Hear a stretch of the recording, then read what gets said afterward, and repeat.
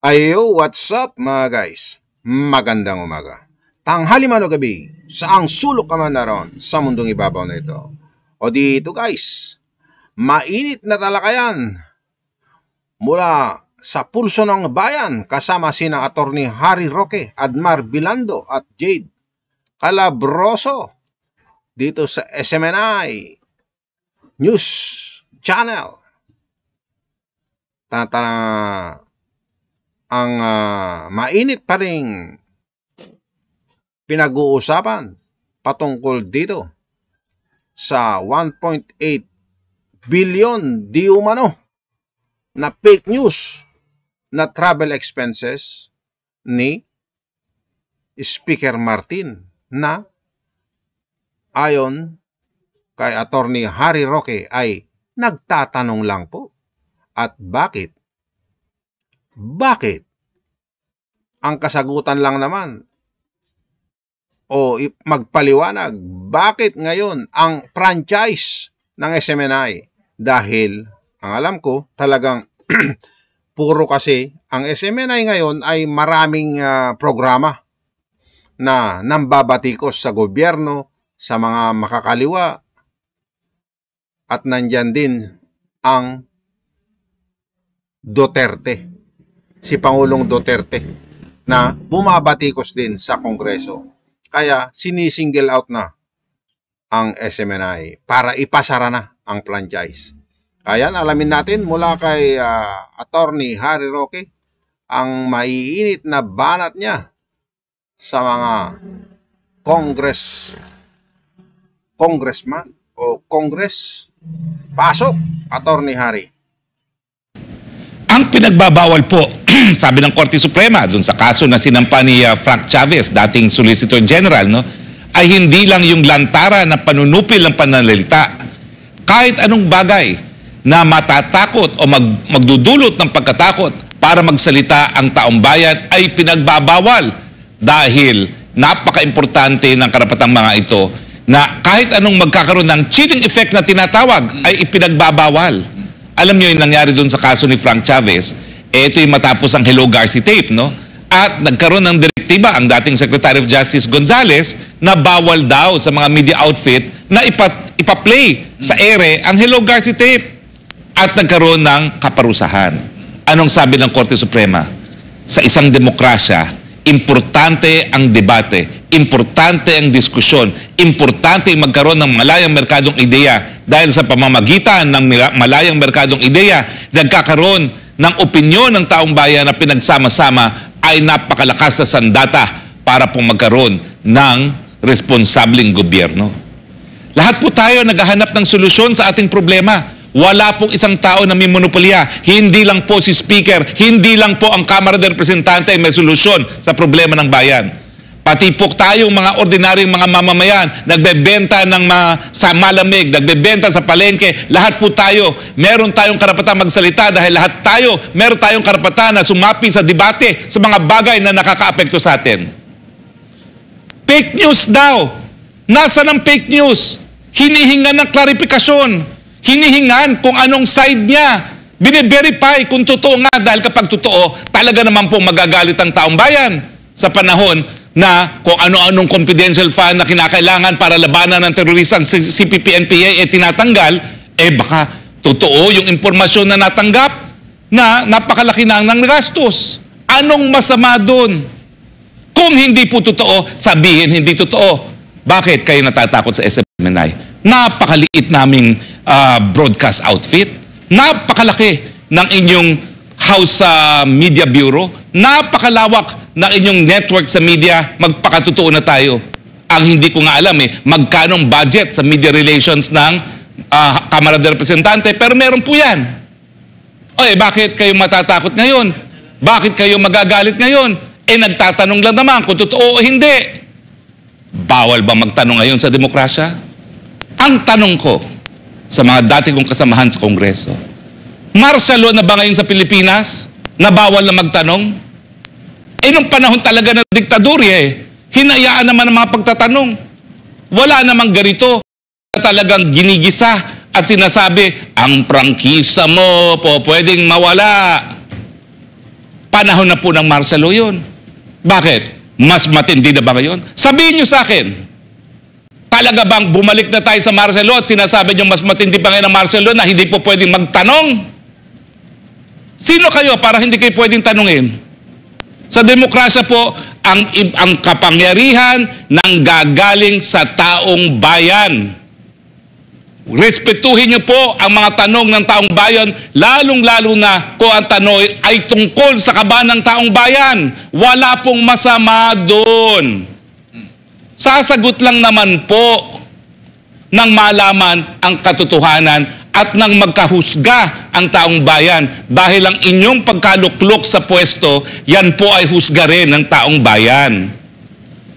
Hindi po papel ng media na purihin ang gobyerno. Ang papel po ng media, magmasid, magbantay para sa taong bayan. Kaya nga po ang tawag dyan, Fourth Estate.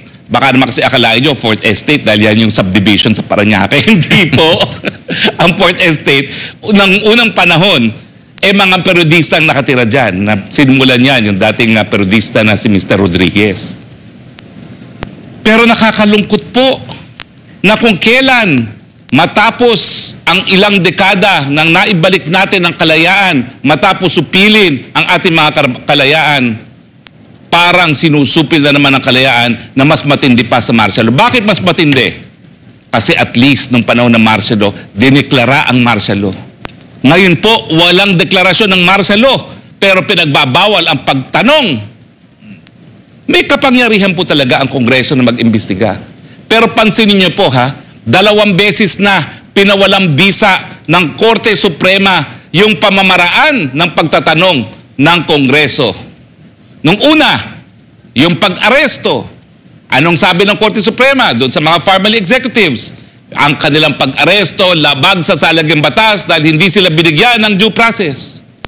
Pangalawa, yung pagpapatawag ng mga um, sekretary sa panahon na merong pandemya at krisis, kinakailangan ang tanong, meron pong relasyon sa isang uh, panukalang batas na isinusulong ng Kongreso at dapat malinaw kung ano yung nais malaman ng Kongreso.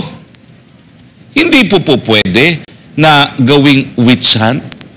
At ang gaya na aking sinabi, hindi po po pwede na gawing ang isang congressional hearing na pamamaraan para magkaroon ng chilling effect on the exercise of freedom of expression. Ta alam niyo po, buong buhay ko eh, linaan ko na dito sa kalayaan ito eh. Ito pong dahilan kung bakit halos lahat, ang, hindi naman halos lahat, napakadami mga periodistang binigyan na natin ng libreng depensa sa libel. Bakit? Dahil nagpunta na po tayo sa UN Committee on Human Rights. Nakakuha na tayo ng desisyon na ang criminal libel ay salungat sa kalayaan ng malayang pananalita. Yan po ang dahilan kung bakit tayo po'y tumayo bilang private prosecutor sa mga napatay ng mga mamamahayag sa Maguindanao Massacre. Dahil pag pinatay ang isang mamamahayag, pinaslang mo rin ang kalayaan ng malayang pamamahayag. Yan po ang dahilan kung bakit hindi lang dito sa Pilipinas, kung hindi ang mga vloggers sa Myanmar, sa Thailand, sa Vietnam, e binibigyan po natin ng remedyo dyan sa UN Committee on Human Rights. Dahil sa buong mundo, hindi lang po sa Pilipinas, napakalaki ng binibigay na importansya sa karapatan ng malayang pananalita. Dahil nga po bilang mga nilalang ng Panginoon, lahat tayo dapat mapakinggan. Tignan niyo po ang mga naging komento ng netizens dyan sa hearing ninyo. Hindi po po pwede naghaharing uri. Hindi po po pwede na ipapakita ang paglabis sa kapangyarihan. Hindi po po pwede na pati background ng mga abogado eh sinasalsal nyo. Ano ba ho talaga ang gusto ninyong malaban sa investigasyon? Kung ang gusto ninyo, ang pinag-aaralan nyo ay yung pag-revoke ng prangkisa, kapangyarihan nyo po yan. Pero kinakailangan, sumapi ang Senado dahil dalawa naman pong kapulungan ng ating uh, Kongreso. Ano po ang intensyon ng legislative inquiry? Dahil kung yan po ay takutin at supilin ng SMNI, that is patently unconstitutional. Hindi po ako nagsabi niyan. Korte Suprema, Chavez versus Gonzales. Wala po tayong personal opinion dito dahil lahat ng sinasabi natin, desisyon na ng Korte Suprema at yan naman pong maganda sa isang demokrasya. Kung sa tingin nyo makapangyarihan kayo, ang kapangyarihan nyo meron pong limitasyon. Yan po'y nanggagaling sa saligang batas, lalong-lalo na yung Bill of Rights. Yang Bill of Rights po yan, yung mga karapatan binigay sa taong bayan, yan po'y garantiya na kahit anong mangyari, hindi po pwedeng mapagkait sa taong bayan mga karapatan na yan. Kaya mga kababayan, nakakabahala po ang mga pangyayari. Sumuporta po ako sa unit team kay Presidente Bongbong Marcos at kay Inday Sara Duterte dahil ako'y naniniwala na ang Bongbong Marcos po, ang ating Presidente, ang kanyang misyon, baguhin ang imahe ng pangalang Marcos. Alam po niya na nadungisan ang pangalan ng kanilang pamilya dahil sa kasaysayan. At sigurado po ako na humingi siya ng pangalawang pagkakataon para maituwid ah, sa kasaysayan ang lugar ng pangalang Marcos.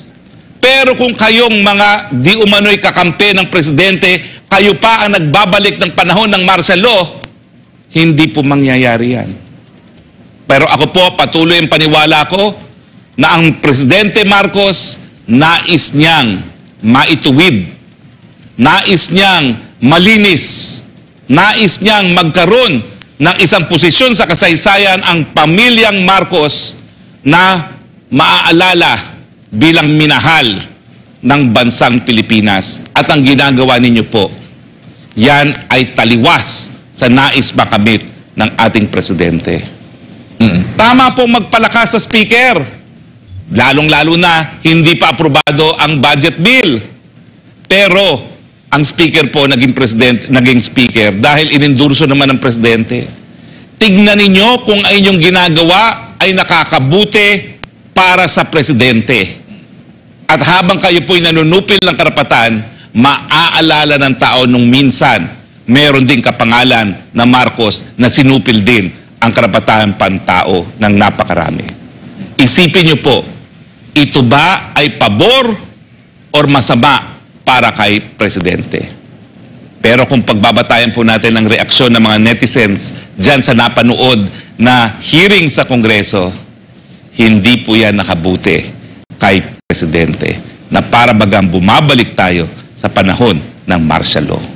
Attorney. Pasensya na, partner, Oh, sir. okay lang, no problem. Pampabungan pa lang eh. Na-high blood Umiinit. na naman. Ikaw talaga ha. Palagi ka na lang, alam mo kung paano talaga matitrigger ang high blood pressure. Para no? bumaba muna, attorney, eto muna, dadagdagan pa ni Jay. Oh, ito, ito muna, attorney. Nagbigay ng reaksyon ang mga legal counsel ng uh, Sunshine Media Network International SMNI kaugnay po sa mga resolusyon na inihain sa Kamara laban sa TV Network. Narito ang aking balita.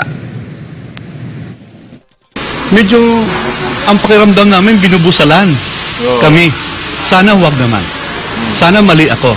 Pero ang feeling namin, parang nilalagyan kami ng busal dito. Ayaw pagsalitain. Ito ang yes pakiramdam or no ng legal daw. counsel ng SMNI na si Attorney Rolex Suplico kaugnay sa mga resolusyon na inihain sa Kamara laban sa TV Network. Isa si Attorney Suplico sa mga humarap sa pagdinig nitong Huwebes, Nobyembre at 30 sa pagdinig ng House Committee on Legislative Franchises na pinamunuan ni 2nd District Paranaque City Congressman Gus Tambunting.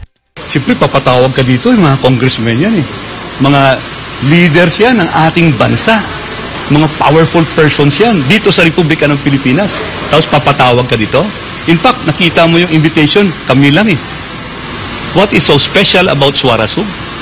Kasama din sa mga legal counsel ng SMNI na humarap sa pagdinig si Attorney Mark Tolentino. Anya, welcome para sa kanila na sagutin ang mga alegasyon laban sa SMNI. We are feel motivated. Naipakita namin na yung motto ng SMNI, naipakita ang katotohanan. So we are feel motivated, we are feel uh, in- we are inspired lalo na sa mga televiewers namin na to prove that truth matters.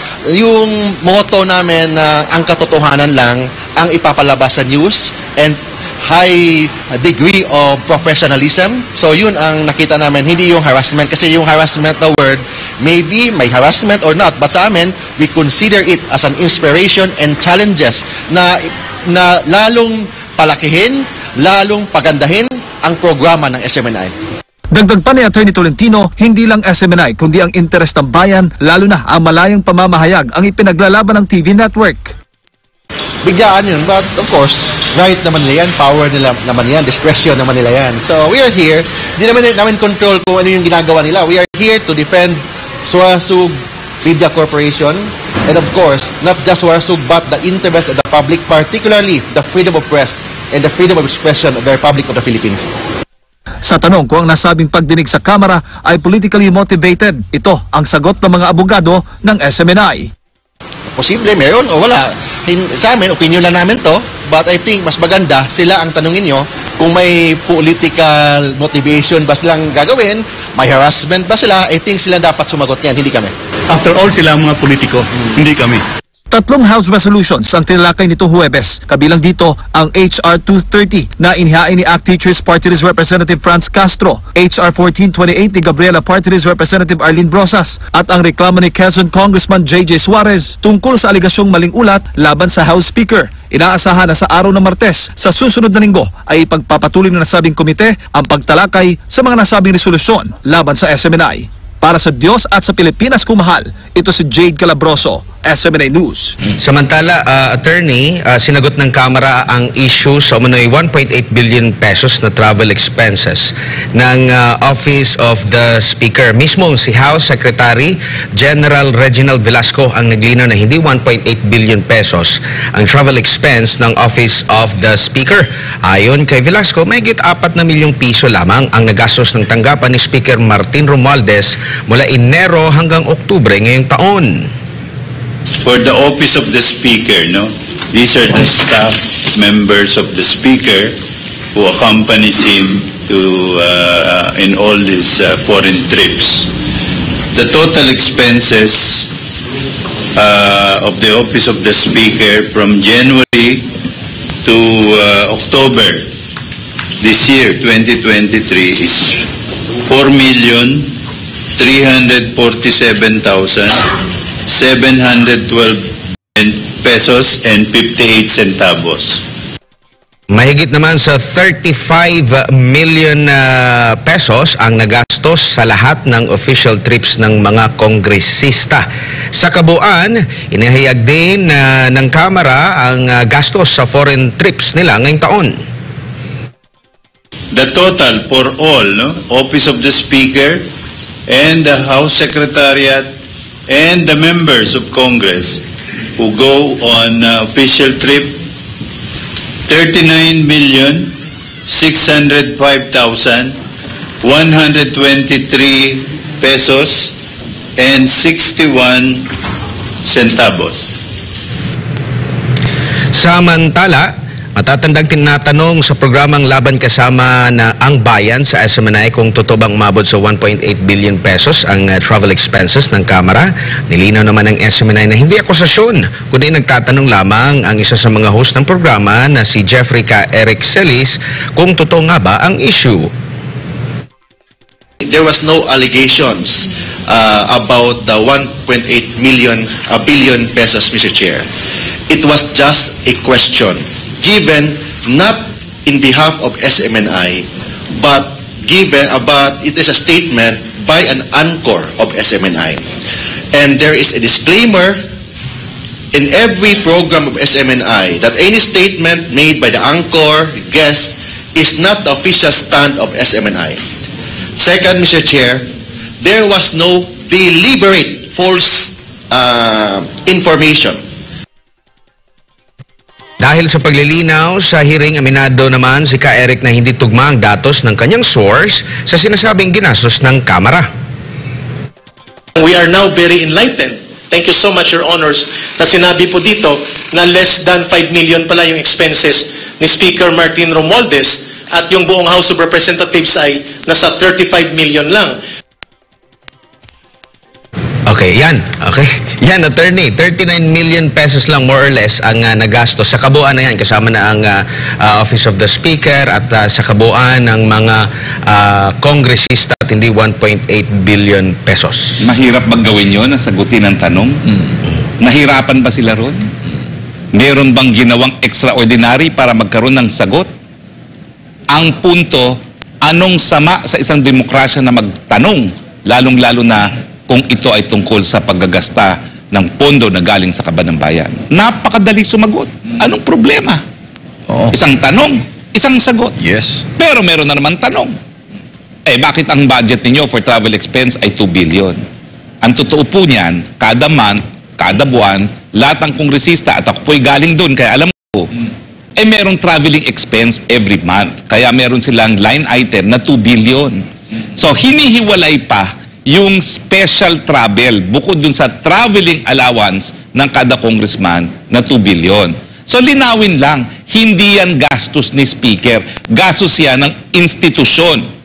At hindi ko po kinu-question yan ha, kasi nga, abay, siyempre, kongresista ka, galing ka ng probinsya, lilipad ka, alam ka naman maubos ang sweldo mo na ang gagastusin mo ay yung sweldo mo. Dapat talaga merong allowance na traveling.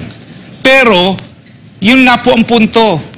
Wala pong problema kung sasagot lamang. Yes. At definitely, hindi po kasalanan sa isang demokrasya na magtanong. Pwede pong magtanong. Isa pa, attorney, ang programang ano, Laban Kasama ang Bayan, kaya nga, Lab Kasama ang Bayan, may nag-info ah, kay ah, Ka Eric at nagpapatanong, kasi nga, ang context doon, may in-interview si Ka Eric, si, ah, um, ah, si Sir Greco Belhica. At ah, nagpapatanong tungkol doon sa travel expense ng ah, speaker. Um, pero ini-insist pa rin doon sa pagdinig uh, hindi lang kasi binigyan ng pagkakataon na ipakita yung uh, video uh, attorney sa lahat ng mga nandoon para at least at mga mamamayan din makita nila para mabigyan ng linaw kung ano ba talaga ang kumpletong uh, konteksto ng pagkakatanong ni uh, um, Ka Eric. Pero ini-insist ni uh, Quezon uh, Congressman uh, uh, Suarez na hindi tanong kundi statement. Ano bang magagawa mo doon? Yun naman ang tanong ko, bakit hindi yung pinakita? Nang makita ng taong bayan? Kung ano talaga yung tanong. Masama bang makita ng taong bayan? O, bakit? Dahil makikita niyong katotohanan na walang paratang kung hindi tanong lamang ang nanggaling kay Ka Eric. At ang isang tanong, dapat sagutin lang. Hindi po po pwede ipagbawal sa demokrasya ang tanong. Kung kayo po ay tutul sa pagtanong sa isang demokrasya, umalis po kayo ng Kongreso. Dahil ang Kongreso binuo yan dahil nga po sa demokrasya. Huwag niyo pong labanan ng demokrasya dahil ang pagtanong po, karapatan. Pati si Sas Rogando Sasot ay nagtatanong, attorney ha, nagtatanong Oo. ito kasi sa GAA daw ng 2023, dalawang billion more or less yata ang ah, budget para sa travel expenses. Yun nga yung sinasabi ko. Ng Kada House. buwan yan, meron travel expense na binibigay sa mga kongresista. Doon siguro yun, kaya naging 2 billion. Pero- na kinakailangan naman. Oo. So, ang sinasabi nila na 40 million lang ang gastos sa speaker, bukod pa yun sa traveling expense ng congressman. Kasi para sa lahat ng congressman yan, at 300 congressmen naman yan. So, Hindi. modest amount naman yan. Ang sabi naman, 4 million lang ang nagastos daw. Hindi sa- 4 million, di ba 40 million? 40 million, Oo. kasama na ang iba pang mga congressman. Ah. Kay Office of the Speaker, 4 million lang daw. Sa kabuuan, more or less, 4 million, ah, 40 million. Oo. Parang ah, napakaliit naman, sobrang liit naman ang ah, ipinalabas nila. Kung galon, sa lahat-lahat na ay 40 million.